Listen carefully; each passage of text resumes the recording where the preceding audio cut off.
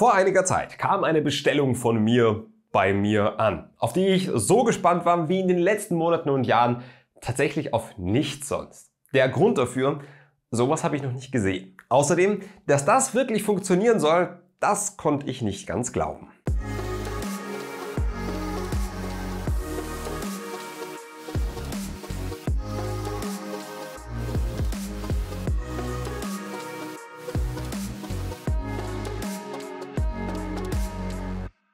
Das hier ist ein sogenannter T-Clip. Noch nie was davon gehört, oder? Ich nämlich bis vor kurzem ehrlich gesagt auch nicht. Und zur ganzen Wahrheit gehört auch, ich habe keine Ahnung, wie ich überhaupt auf dieses Teil gekommen bin. Doch als ich die Idee dahinter gelesen habe, war klar, dass ich sowas brauche. Denn es klingt nach einem idealen Weg, um ganz simple Dinge super kompliziert zu machen. Ob ich damit falsch lag, dazu komme ich gleich noch. Aber erstmal, was ist ein T-Clip? T-Clip ist ein kleines Plastikteil von der Firma T-Rock aus Tirol. Das T-Clip hat die Aufgabe, Kletterer dabei zu unterstützen, sicherer zu klettern, weil sie mit Hilfe dieses Teils letztlich sicherer klippen können. T-Rock selbst sagt, dass man mit diesem Teil sicherer und hygienischer beim Klettern unterwegs sein kann, weil man beim Klippen nicht mehr ins Seil beißen muss. Die Idee ist also folgende. Normalerweise würde ich, wenn ich einen weiten Clip in Kauf nehmen muss, was ohnehin schon eher suboptimal ist, erstmal das Seil hochziehen, dann an der weitesten Stelle das eines eingeholten Seils ins Seil beiße und dann nochmal nach unten nachgreife. Nach dem Nachgreifen habe ich dann ausreichend Schlappseil, um einen sehr hohen Clip auch klippen zu können. So, aber T-Rock sagt, das ist blöd, weil es gefährlich ist und Seile dreckig sind und so weiter. Deshalb haben sie sich diesen Plastikclip ausgedacht. Der perfekte Zahnersatz, könnte man sagen. Der wird letztlich per Klettverschluss am Klettergurt seitlich befestigt, sodass er möglichst stramm sitzt und nicht weiter verrutschen kann. Nun sieht die Theorie so aus. Greift man bei einem hohen Clip nach dem Seil, nimmt man es beim ersten Hub nicht in den Mund. Man steckt es stattdessen an der gleichen Stelle, wie man es eigentlich in den Mund ja, genommen hätte, in diese kleine Plastikvorrichtung. Diese ist nach unten hin leicht zulaufend, soll heißen, je stärker ich das Seil drin versenke, umso besser hält es drin, weil es danach quasi wieder etwas breiter wird. Raus soll es aber angeblich jedenfalls immer ganz einfach gehen. Heißt in Kurzform, Seil nachholen, in den T-Clip stecken, Seil nochmal nachholen und dann klippt man einfach, ohne das Seil am T-Clip zu beachten. Denn die Theorie von T-Rock ist, dass sich das Seil dann automatisch durch die Spannung aus dem T-Clip zieht und die Schlaufe und damit Länge erweitert.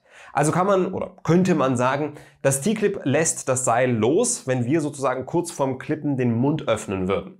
De facto verbringt das Seil im Mund eines Kletterers bei geübtem Vorgehen ungefähr drei Sekunden. Diese drei Sekunden können aber tatsächlich sehr gefährlich sein. Denn hier kommt ein großes Problem unseres Sports ins Spiel.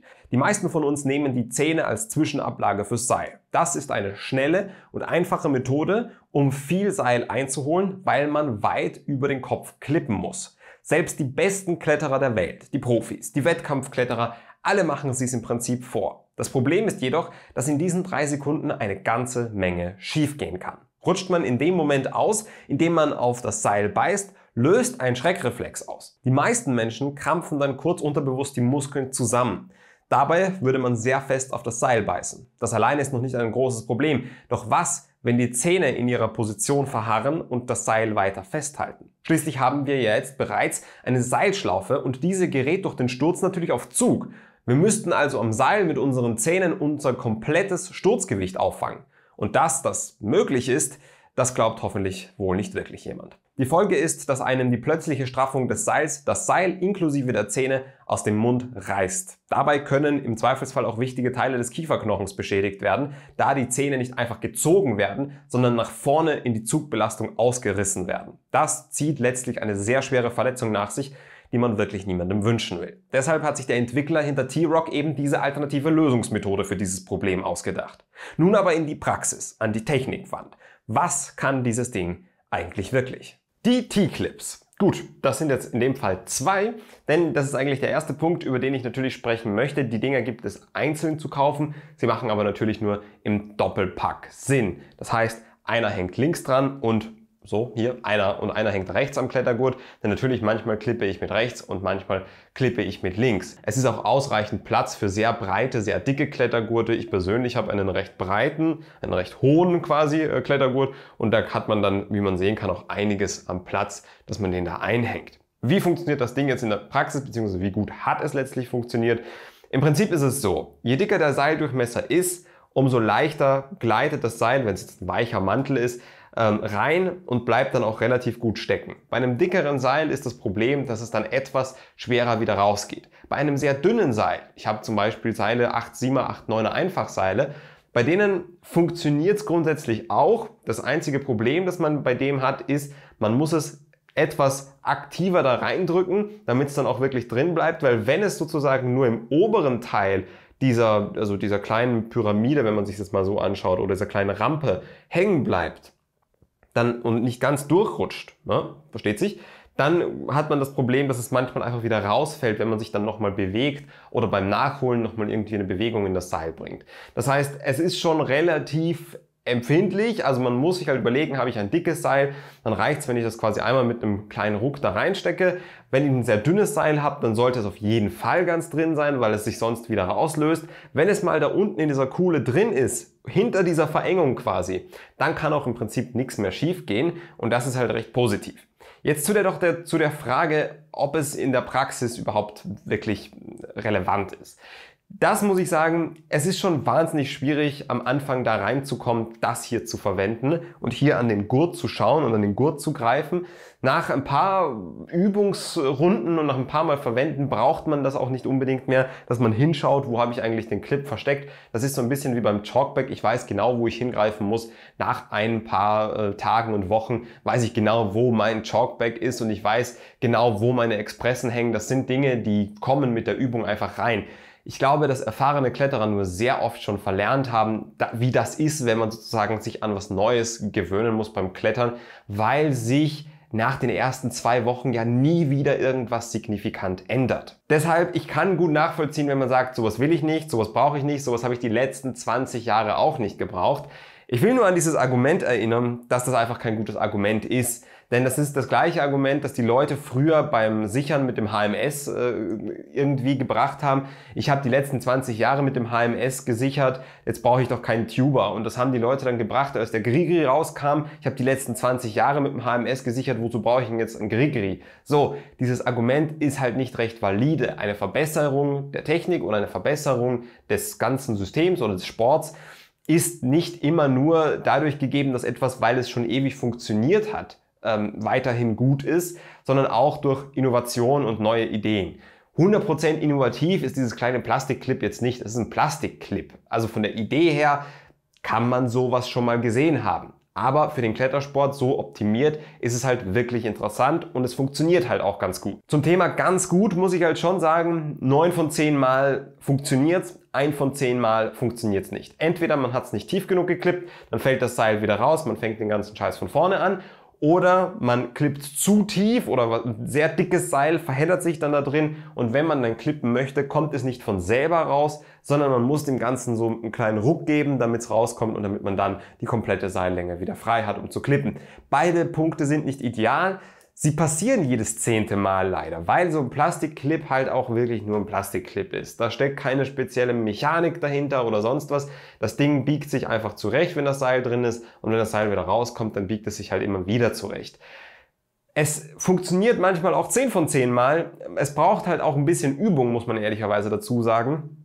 Aber da komme ich nur auf meinen alten Punkt zu sprechen. Wenn man das klassische Klippen kennt, ähm, das braucht auch Übung, das Einhängen vom Seil braucht auch Übung.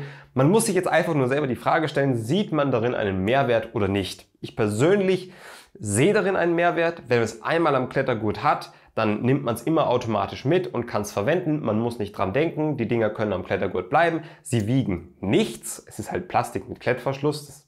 ich weiß nicht mal, uh, Insofern, das ist schon ein cooles Investment, wenn man es denn nutzen möchte. Wenn man sagt, ich habe mir da schon oft drüber Gedanken gemacht, das ist, wirkt irgendwie ungesund, das kann im Zweifelsfall wirklich schief gehen. Gibt es da nicht eine Lösung, dann kann man sich sowas kaufen. Wenn man mit seiner Technik, wie man klippt und so weiter zufrieden ist, was ich bis vor kurzem ja auch war, es ist ja hier im Prinzip ja nur äh, der Fall, weil es jetzt sozusagen, weil es mich einfach interessiert hat, wie gut funktioniert das Ding, ähm, wenn man sagt, man ist zufrieden damit, das ist mir egal, ich habe das unter Kontrolle und ich will das auch so beibehalten, die Gewohnheit ist gut, dann braucht man sowas halt auch nicht. Ich persönlich muss aber sagen, ich finde es cool. Ich finde in den letzten Wochen, seitdem ich das Ding habe, äh, hat sich für mich ein bisschen eingestellt, wie unangenehm das eigentlich ist, wenn man, wenn man mit, dem, äh, mit den Zähnen auf Seil beißt, wenn man auf einer Platte steht und die schmierig ist und äh, man irgendwie einen schlechten Griff noch in der Hand hat und dann versucht man mit der einen Hand zu klippen und beißt aufs Seil.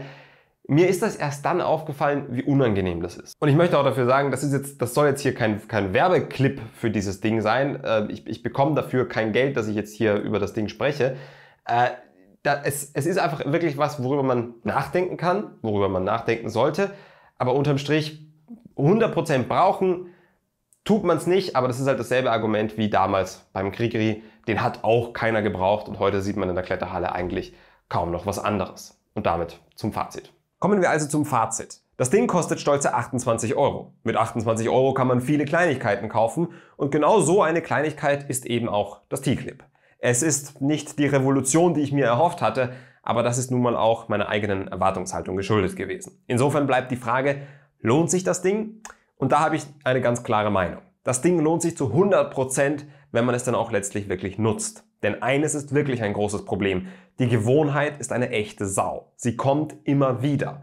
Und selbst als ich das Ding immer am Gurt hatte, ich habe mich unzählige Male erwischt, in denen ich das Seil in den Mund genommen habe, anstatt es an den T-Clip zu stecken. Nicht, weil ich es nicht mag, sondern schlichtweg, weil ich es nach so vielen Jahren und tausenden Stunden Klettern diese Bewegung einfach derart verinnerlicht ist, dass man das durch ein neues kleines Gadget nicht von heute auf morgen im Prinzip wegbekommen kann. Deshalb ist es trotz T-Clip am Anfang tatsächlich eine schwierige Sache. Trotzdem bleibe ich dabei. Wenn man gerade nicht an, an den Obergrenzen des menschlich Möglichen klettert, dann ist das tatsächlich eine coole Sache. Denn die neun von zehn Mal, in denen das T-Clip mein Seil ohne Widerstand wieder freigegeben hat, reicht für den Hobbykletterer vollkommen aus. Und das eine von zehn Mal, ja, das braucht man dann halt eben etwas Kraft, um sozusagen mit einem gesunden Ruck das Seil aus dem T-Clip zu befreien. Aber festgesteckt ist es tatsächlich kein einziges Mal bei unzähligen Testversuchen. Und ich bin tatsächlich jemand, den auch ein von zehn Mal so hart ärgern würde, dass ich das Teil am liebsten in den Müll schmeißen würde. Aber nach einer Zeit ist mir tatsächlich aufgefallen, dass es mit etwas Übung immer seltener passiert und irgendwann eben, ja, gar nicht mehr. Ob man sowas jetzt braucht oder nicht, ja, ihr kennt das ja. Das müsst ihr natürlich immer für euch entscheiden. Das war heute ein sehr spezifisches Testvideo. Ich weiß, aber den einen oder anderen wird es von euch ja letztlich hoffentlich doch was gebracht haben und zumindest unterhalten haben oder interessiert haben. Bis zum nächsten Mal wünsche ich euch wie immer natürlich eine wunderschöne Zeit und Bergheil.